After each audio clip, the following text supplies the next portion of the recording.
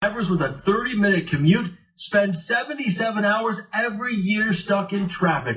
Drivers we talked to say the gridlock now extends well beyond I 5. Uh, a lot of the back streets and little sideways to get around, everybody knows them now, and now those are being clogged up, and it's just it's just tenfold affecting all the intersections and freeways. And Definitely uh, getting uh, LA-ish and Seattle-ish. Fucking at the Bluebird. Bluebird And there's a on my can I kill it? And there's a bluebird on my shoulder, can I kill it?